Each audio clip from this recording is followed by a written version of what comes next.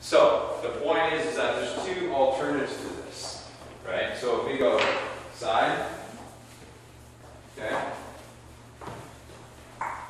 Now if I really step in, I release a car, and she sort of flares that leg out, I can get a little gancho in. And it's the same thing, right?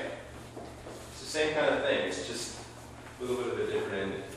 Okay? It really depends on what happens. And it's the girl's choice of that matter she wants to sacada is basically if she's going to sort of line up or not and collect her fee. Yeah?